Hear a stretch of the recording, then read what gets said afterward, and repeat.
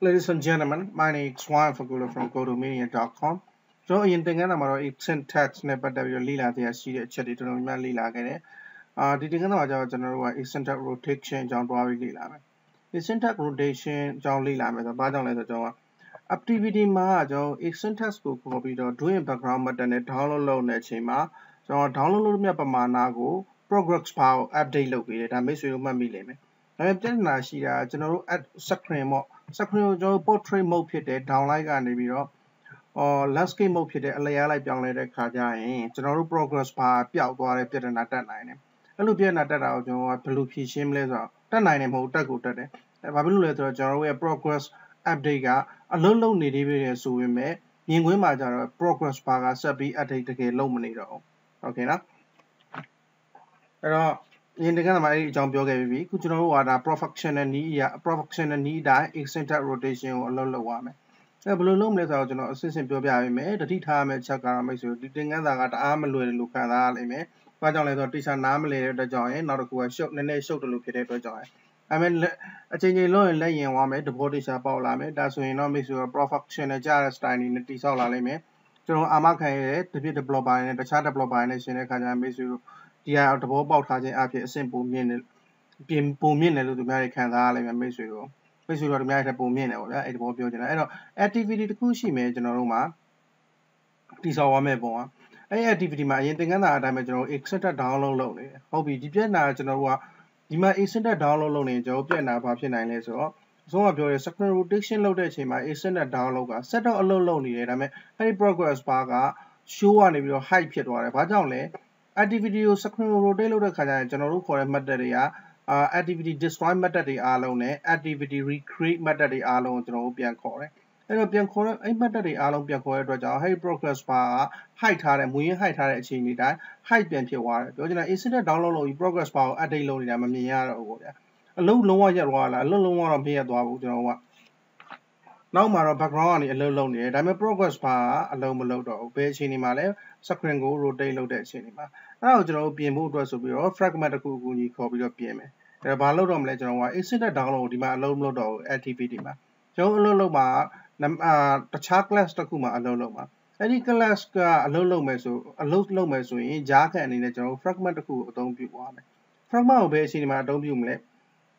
activity နဲ့ချိတ်ဆက်ပြီးကျွန်တော် fragment အလုပ်လုပ်မယ်ဒါပေမဲ့ပြဿနာတစ်ခုရှိရမိတ်ဆွေလည်းစဉ်းစားပြီးတိုင်း screen rotation လုပ်တာနဲ့ activity destroy လုပ်လို့ fragment လည်း destroy လုပ်ခံရတယ်အဲ့ဒါဆိုရင်ကျွန်တော်ကဘာမှမထူဒါပေမဲ့ထူးတဲ့အချက်တစ်ခုတော့ရှိတယ် fragment မှာကျွန်တော်တို့ destroy အလုပ်မခံရအောင်အောင်ကျွန်တော်ကြီးညာလို့ရတဲ့နေရှိတယ်အဲ့ဒီကြီးညာလို့ရတဲ့နေကိုတုံးပြီးတော့ကျွန်တော်ကအဲ့ဒီ activity က screen rotate လုပ်တာနဲ့ဆိုကြပါစို့အလျားလိုက်ကနေ down light ကိုပြောင်းသွားပြီဆိုတာနဲ့အဲ့ဒီ activity ကလုံးဝအဖြတ်ခံရပြီး activity အတစ်ကိုတိဆောက်လိုက်မယ် အဲ့လိုတိဆောက်တဲ့အချိန်မှာကျွန်တော်တို့က Harry activity နဲ့ fragment ကိုချိတ်ဆက်ထားလိုက်ဟုတ်ပြီနော် fragment ကကြတော့ကျွန်တော်တို့ကဒီ activity destroy လုပ်ခံရရင်တူလဲ destroy လုပ်ခံရမှာအဲ့မဲ့ကျွန်တော်ကအဲ့လိုမလုပ်တော့ဘူး destroy လုပ်မခံရတဲ့ဒီနဲ့အာ set retain instance ဆိုပြီးတော့ instance ကို retain လုပ်ထားတဲ့နီးနဲ့သူ့ကိုကျွန်တော်တို့က fragment ကို destroy မလုပ်ခိုင်းဘူး activity ဘယ်လောက် destroy လုပ်ခံရလုပ်ခံရ fragment ကတော့အတေပဲအမြဲတမ်းရှိနေမယ်အဲ့တော့ဘာဖြစ်သွားရလဲကျွန်တော်တို့က fragment ကဘယ်တော့မှအသက်မခံရဘူးရှင်နေမယ် activity ဒါ screen rotation မှာအသက်ခံရနိုင်မယ်အဲ့တော့ကျွန်တော်တို့က looks ဟိုပေါ့ပြီးတော့တစ်ခုတွေ့လာပြီဘာလဲအသက်မခံရတဲ့ fragment မှာကျွန်တော်တို့ download လုပ်တဲ့လုပ်ငန်းစဉ်ကိုလုပ်မယ် okay fragment ကကျွန်တော်တို့ဒီမှာတိစောက်မဲ့ fragment က non UI fragment UI element တစ်ခုမှမပါတဲ့အာ fragment တစ်ခုတိစောက်အောင်ပါအဲ့မဲ့ဆိုတော့ပေါ့ပြီနော် activity မှာကျွန်တော်တို့ကဘာလုပ်လို့မရဘူးလဲအဲ extended download ကို activity မှာ direct လာလုပ်လို့မရဘူး ဘာကြောင့်လဲဆိုတော့ screen rotation မှာကျွန်တော်တို့ update လုပ်ချင်တဲ့ progress bar ကပျောက်သွားလို့ဟုတ်ပြီအဲ့တော့ကြောင့်ကျွန်တော်တို့ဘာလို့တုံးမလဲ fragment ကိုတုံးမယ်ဒါပေမဲ့ fragment မှာလည်းအားနည်းချက်ရှိတယ် activity destroy လုပ်ခံရတဲ့ fragment ရဲ့ on destroy method ကိုခေါ်ပြီးတော့ fragment ကိုပါ destroy လုပ်လိမ့်မယ်အဲ့လိုမလုပ်အောင်လို့ကျွန်တော်တို့က Harry fragment ရဲ့ on create view မှာ save retain instance ဆိုတဲ့ method ကိုခေါ်ပြီးတော့သူ့ variable သူ့ရဲ့တန်ဖိုးမှာ true ထားလိုက်ရင်ပေါ့ boolean value ထားတဲ့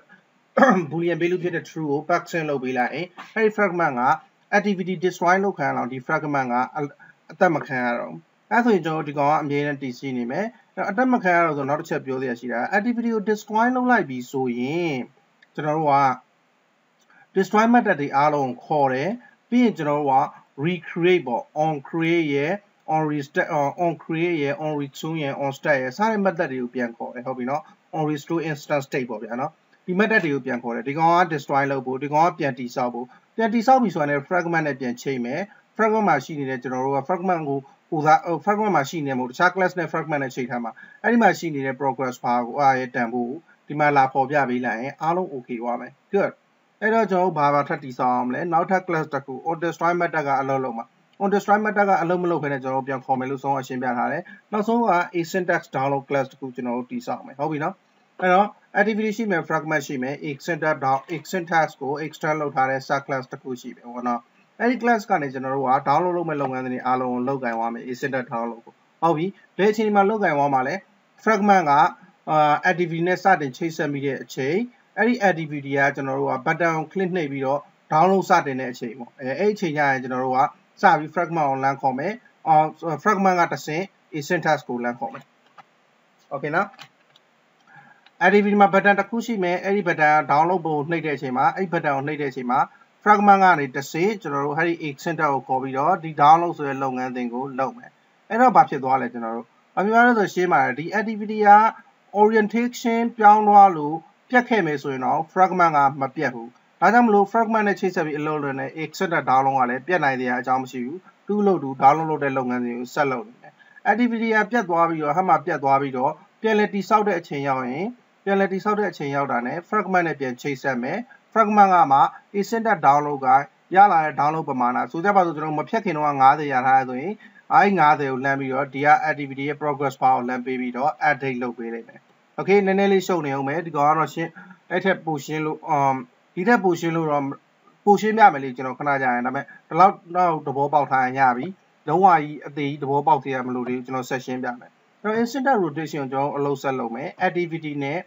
အာ activity မှာကျွန်တော်တို့က on create method ရှိတယ်ဟုတ်ပြီအဲ့ဒီ on create method ကနေတော့ကျွန်တော်တို့က fragment ကိုတစ်ကြိမ်ပဲခေါ်မယ်ပြောချင်တာ fragment ကိုကျွန်တော်နှစ်ကြိမ်သုံးကြိမ်ခေါ်ရင် fragment က on create အကြိမ်ကြိမ်ခေါ်ခံရပြီးတော့ on destroy ကိုလည်းအကြိမ်ကြိမ်ခေါ်ခံရလိမ့်မယ်အဲ့တော့ fragment ကိုကျွန်တော်မရှိမှတာနဲ့ fragment ကိုခေါ်မယ်ရှိရင် fragment ကိုမခေါ်ဘူးဆိုပြီးတော့တစ်ချိန်နဲ့ခေါ်တဲ့နည်းကိုကျွန်တော်သုံးပါမယ်ဟုတ်ပြီနော် good ဒါ fragment ပေါ့တရားအခေါ်ဒီကောင်က fragment အဲ့ဒီ fragment ကိုအဲ့ဒီ on create ဆိုတဲ့ method ထဲကနေပြီးတော့လှမ်းခေါ်မှာဘလို့အချိန်ကြီးမှခေါ်မလဲဆိုတော့ application runtime မှာပဲဖြစ်စေ application ကိုစတင် launch လုပ်တဲ့အချိန်မှာပဲဖြစ်စေ fragment ကိုတစ်ချိန်ပဲကျွန်တော်တို့ခေါ်မယ်ဒီတစ်ချိန်ပဲခေါ်မယ်နည်းကိုလည်းကျွန်တော်ပြောပြပေးမယ်အဲ့ကအဲ့လိုခေါ်လိုက်ပြီဆို fragment ရဲ့ on activity created method ကအလုပ်စလုပ်လိမ့်မယ် activity ဖတ်ပြီးွားရောဗျာနော်အဲ့မှာမှာ on activity created method ထဲမှာမှာကျွန်တော်က set restate or set retain အာ set retain instance ဆိုတဲ့ method ကိုခေါ်ပြီးတော့ true ထားပေးလိုက်မယ်။ဘာကြောင့်ထားမှာလဲဆိုတော့ကျွန်တော်တို့ fragment တစ်ခုကိုတိစောက်ပြီးဆိုတာနဲ့ fragment မှာလည်း create method တွေရှိလို့ destroy method တွေလည်းရှိဟုတ်ပြီနော်။အဲ့ဒီ create destroy method တွေကိုနောက်တစ်ချိန်မလာသေးချင်ဘူးဆိုကျွန်တော်တို့က retain instance state ကို true ထားလိုက်လို့ရတယ်။ဒါဆိုရင်ကျွန်တော်တို့က fragment ကတည်သွားခဲ့ရင်တော့မှ screen rotation လုပ်တဲ့အခြေအနေကြောင့်တည်သွားခဲ့ရင်တော့မှ on destroy method ကိုမခေါ်တဲ့အတွက်ကြောင့် မူရင်းအခြေအနေဖြတ်ချင်းမခံရဘူး။အာပျက်စီးခြင်းမခံရဘူးမူရင်းအခြေအနေတိုင်းပဲရှိဘူးโอเคခဏကြာမေးဆိုတကယ်သဘောပေါက်လိုက်မယ်ကျွန်တော်တစ်ဆင့်စီလုပ်ပြအောင်မှလက်တွေ့ကြရင်လဲအဲ့ဒီမှာကျွန်တော်တို့ရဲ့ activity ဒီမှာကျွန်တော်တို့ရဲ့ fragment activity မှာ screen rotate လုပ်တာနဲ့ကျွန်တော်တို့က destroy method ကိုခေါ်လိုက်မယ် destroy method တွေက on for on save instance state on store on destroy method တွေအဲ့လို destroy method တွေကိုခေါ်တာနဲ့ကျွန်တော်တို့ကပြီးခေါ်ပြီးတာနဲ့ပြောတာခေါ်လိုက်တာနဲ့ဘာဖြစ်သွားရလဲ ဒီ destroy method တွေအားလုံးကကျွန်တော်တို့ရဲ့ heavy activity တစ်ခုလုံးကိုဖျက်ပစ်လိုက်ပြီ good အဲ့ဒါဆိုရင်ကျွန်တော်ဘာလုပ်မလဲဖျက်ပစ်ပြီးုံနဲ့မကအောင်သူက screen rotation ဖြစ်တဲ့အတွက်ကြောင့်ပြန်လည်တိဆောက်ပေးရတယ်ပြန်လည်တိဆောက်ဖို့တော့ကြောင့်ကျွန်တော်တို့ heavy ရဲ့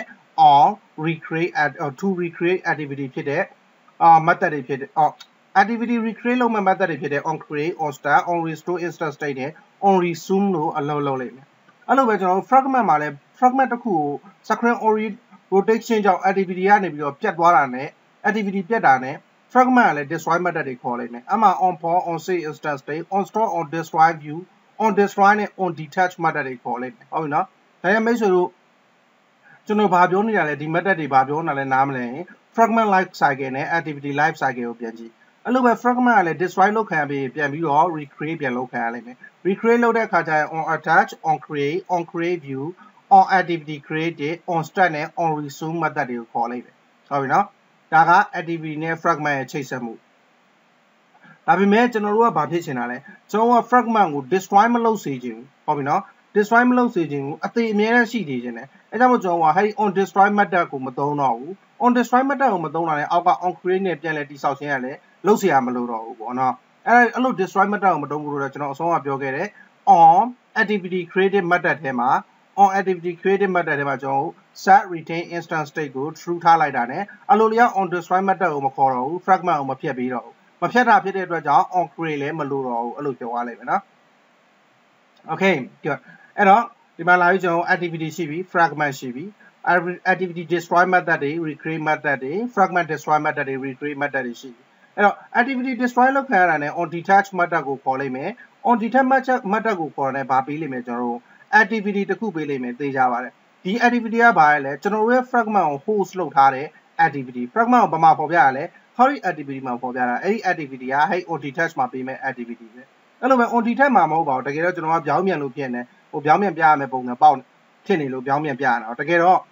on create မှာလည်းကျွန်တော်တို့ဘာလုပ်ပေးရလဲအာ activity ကိုစတင် create လုပ်တာနဲ့ on create method အလုပ်လုပ်ပြီးရင် on attach ဆိုရဲ fragment ကို activity နဲ့ချိတ်ဆက်တဲ့ method ကိုခေါ်ပြီးတယ် on attach method အဲ့လိုခေါ်တာနဲ့တပြိုင်တည်းမိတ်ဆွေတို့မြင်တဲ့အတိုင်းပဲ on attach method မှာ activity တစ်ခုကိုလမ်းပေးတယ်အဲ့ဒီ activity ကဘယ် activity လဲ hori fragment host လုပ်ခံထားရတဲ့ host လုပ် hori fragment ကို host လုပ်ထားတဲ့ hori activity ကိုပြောတာအဲ့တော့ကျွန်တော်ဘာကြောင့်ဒီ activity ကြောင့်အသေးအတန်ပြောနေလဲဆိုအဲ့ဒီ activity ကိုမူတည်ပြီးတော့ကျွန်တော်တို့ရဲ့ hori syntax class က Clammy activity က progress bar ကိုလမ်း update လုပ်ပါဟုတ်ပြီနော် အဲ့လိုဖြစ်တဲ့ကြောင့်ကျွန်တော်တို့ကဘာလုပ်မလဲ fragment က on detach ဆိုပြီးတော့ on attack ဆိုပြီး activity နဲ့စချိတ်မိပြီဆိုတာနဲ့ကျွန်တော်ကဘာကိုခေါ်မလဲဆိုတော့ asyntax ရဲ့ public on attach နဲ့ public on detach ဆိုရယ် custom method တွေကိုခေါ်မယ်ဟုတ်ပြီနော်ဒါဘယ်သူကခေါ်မလဲ on detach လောက်ခံရတာနဲ့ on detach ပဲအချိန်လောက်ခံမှမမြင်နဲ့နော်ဒီမှာ activity ကို destroy လုပ်တဲ့အချိန်မှာ on detach method ကိုခေါ်မယ်ခေါ်တဲ့အခါ parameter တစ်ခုအဖြစ် query activity ကိုပေးလိုက်မယ်အဲ့ဒီ activity ကဘယ်ကိုရောက်သွားမလဲဆိုကျွန်တော်တို့ asyntax download လုပ်မယ့် method တွေက on attach method ကျွန်တော်တို့ custom ဒီဆောက်မဲ့ method တွေကိုရောက်သွားမယ်ဒါကိုပြောတာနော်အဲ့လိုပဲ activity ကိုကျွန်တော်တို့ destroy လုပ်လိုက်တာ ਨੇ ဟဲ့ on sorry activity ထဲကို fragment ကို attach လုပ်လိုက်တာ ਨੇ activity parameter တစ်ခုပေးတယ်အဲ့ဒီ activity ကိုကျွန်တော်တို့က asyntax ရဲ့ class ထဲမှာလမ်းပြီးထည့်ပေးပြီးတော့အာ activity ကိုရယူမယ်ဘာလို့ရယူလဲဘာလို့ထည့်ပြီးလဲကျွန်တော်အဲတကယ်တော့ခဏကြာရင်မိတ်ဆွေတို့ရှင်းသွားလိမ့်မယ်ရယူလဲဆိုတော့ကျွန်တော်တို့ဘာလုပ်မှာလဲဒီမှာ download လုပ်မယ် download လုပ်ပြီးရင် progress bar ကို update လုပ်ရမယ် update လုပ်ဖို့အတွက်ဒီ activity မှာလာပြီး update လုပ်ဖို့အတွက် activity နဲ့ asyntax ကဘလို့မှချိတ်ဆက်ထားခြင်းမရှိဘူးအဲ့တော့ကျွန်တော်တို့ဘ ᱹ ကိုခံပြီးချိတ်ဆက်အောင် fragment ကိုခံပြီးတော့ fragment ရလာတဲ့ activity ကိုဒီဘက်ကိုပေးတယ်အဲ့ဒီ activity ကမှတူတိုင်းသွားပြီးတော့ဒီမှာရှိတဲ့ progress bar ကိုလာပြီး update လာလုပ်လိုက်မယ်နော် okay good အာအဲ့တော့ extended rotation ဒီမှာ circle ရှိရကျွန်တော်နံပါတ်1ကဘာလုပ်မလဲ public extended download စပြီဆိုတာ ਨੇ public while on post execute ဒါကျွန်တော်တို့က on post execute method ကတော့ activity မှာ run နေတာအဲ့ဒီ method စပြီးအလုပ်လုပ်ပြီဆိုတာ ਨੇ ကျွန်တော်တို့က show progress dialog ဆိုတဲ့ method ကိုခေါ်ပေးမယ်အာပြီးတော့အဆုံးသတ်သွားပြီဆိုတာ ਨੇ on pre execute method ထဲမှာ high progress dialog method ကိုခေါ်ပေးမယ်ဟုတ်ပြီနော်အဲ့တော့အဲ့ show progress dialog method ကဘယ်ရရမှာလဲ show progress dialog method ကဟဲ့ဒီမှာကျွန်တော်တို့က activity မှာတိစောက်ထားတဲ့ method တစ်ခုဖြစ်လိမ့်မယ်အဲ့ဒီ method ကဘာလုပ်မှာလဲဆိုတော့ progress bar ကိုပေါ်ပြပေးမယ် method အဲ့လိုပဲကျွန်တော် on pre execute မှာခေါ်ခံရတဲ့ high progress dialog method ကဘာလုပ်မှာလဲအဲ့ဒီကျွန်တော်တို့ activity မှာရှိတဲ့ high progress dialog method ကိုလန့်ခေါ်မယ် method အဲ့ဘယ်လိုဖြစ်လို့ခေါ်လို့ရရလဲဆိုကျွန်တော်တို့အဆုံးကစာမျက်နှာမှာလေ့လာတဲ့ကြတိုင်း on attach နဲ့ on detach fragment method တွေမှာရလာတဲ့ activity host လုပ်ထားတဲ့ activity ကိုဒီကိုကျွန်တော်တို့လမ်းပို့ပေးတယ်မလား extended download ထဲကိုအဲ့ကနေဒီမှာရှိတဲ့ကျွန်တော်တို့က on attach နဲ့ on detach ကဖမ်းတယ်ဖမ်းပြီးတော့အဲ့ဒီ activity ကိုကျွန်တော် global လုပ်လိုက်တယ် ရလာတဲ့ global activity ကိုမှကျွန်တော်တို့ဒီမှာလာပြီးတော့ activity.show progress dialog activity ကျွန်တော်တို့ custom လုပ်လိုက်မယ်အဲ့ဒီ activity name နဲ့အဲ့ဒီ activity ကမှဘယ်ကိုလမ်းခေါ်လိုက်လဲကျွန်တော်တို့ show progress dialog ကိုလမ်းခေါ်တယ်အဲ့လိုပဲ activity.high progress dialog ဆိုပြီးတော့ dialog ကို high ပဲ high မဲ့ method ကို activity ကိုလမ်းခေါ်တယ်ပြောချင်တာကျွန်တော် asyntax မှာ